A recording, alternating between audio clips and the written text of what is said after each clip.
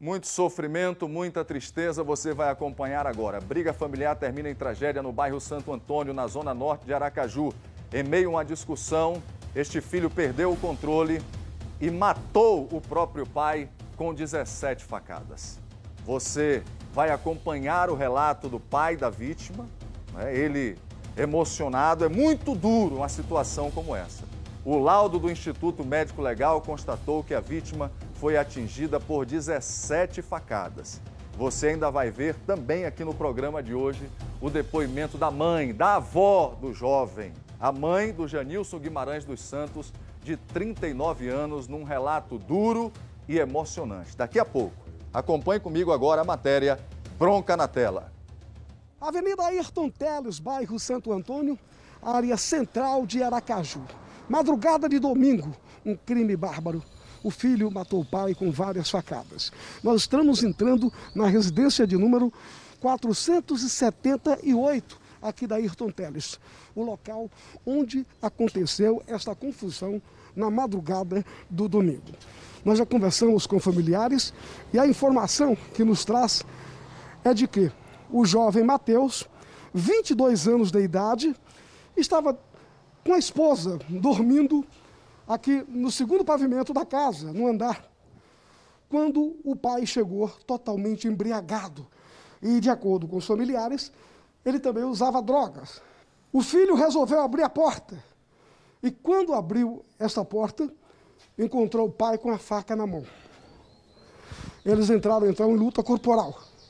Mateus conseguiu tomar a faca do pai Tony. Estava muito exaltado. E aí então, na luta corporal, o Mateus desferiu alguns golpes no pai, que caiu exatamente aqui neste local. Ele era uma ótima pessoa, o, o Douglas. Agora, quando ele estava bebendo e drogado, ele era um homem era um homem descartado. Não respeitava ninguém. Não. Se, se ele se irmasse com você, a verdade é essa. Não adianta esconder. Gente boa, trabalhador.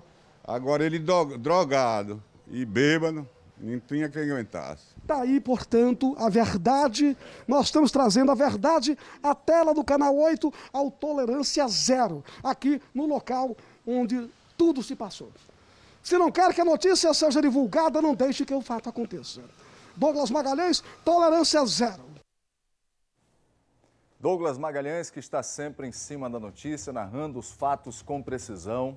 Coronel Yunes está conosco, nós estamos ao vivo agora, uma hora mais 17 minutos. Coronel, aí nós perdemos toda e qualquer referência. Os valores estão estraçalhados.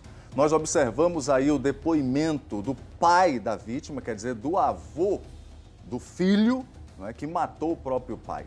Em determinado momento na narração, eu fico observando os detalhes, como o senhor, o pai diz, ele bêbado, e drogado era um homem descartável.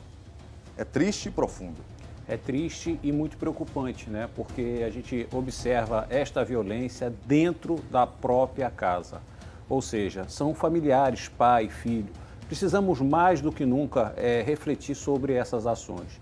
Precisamos, antes de tudo, tratar aqueles que precisam ser tratados, como, por exemplo, aqueles que se utilizam de drogas ou do álcool Precisamos ter uma sociedade mais saudável. E quando se fala em saudável, se fala em todos os segmentos, seja nas questões das drogas, seja na questão da utilização do álcool, para que nós possamos ter uma família mais saudável, né, Cláudio? Eu acho que é esse o que está faltando para toda a sociedade, essa onda de violência que vem. Saúde psíquica, saúde moral. É? Nós acompanhamos a situação e relatamos aqui no programa muitas situações. Isso não acontece da noite para o dia. É né? Aí há o envolvimento da droga, a droga sempre tem que estar no meio, né, Coronel? É, infelizmente, é, a, a, violência ela está intrinsecamente ligada. Qualquer que seja as ações, seja as ações violentas, de assaltos, infelizmente a droga está com essa triste situação. Ok, nós vamos continuar com este assunto no programa. Você que está nos acompanhando, nós temos o relato da mãe da vítima, a avó. Nós ouvimos aí o pai da vítima. Daqui a pouco nós vamos ouvir na íntegra aqui no programa o relato desta mãe sofrida, mãe-vó, né? Porque ela é a avó do assassino, nós observamos, coronel, 17 facadas, né? Não é uma ação, né? um impulso, né? Foi se defender e, e deferir um golpe. Não, não foi isso. É, a violência, ela perdurou por muito tempo, né? Ok, olha, nós temos a informação aqui, segundo o pai, foram três facadas, né? Quer dizer, o pai avô, né? O avô, né? Foram três facadas e o Instituto Médico Legal identificou 17 facadas com apuração do nosso Adelso. Comigo aqui, velocidade na informação, deixa eu girar. Você vai conferir agora este relato dolorido, sofrido, o relato da mãe do Janilson Guimarães dos Santos, de 39 anos. Ela é a mãe, ela é a avó. Acompanhe comigo agora. Bronca na tela.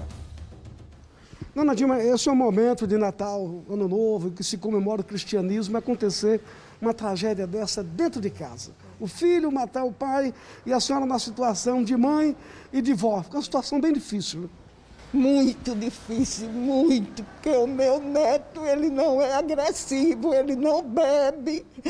E aconteceu, ele é filho único, ele era doido pelo pai, e o pai por ele também.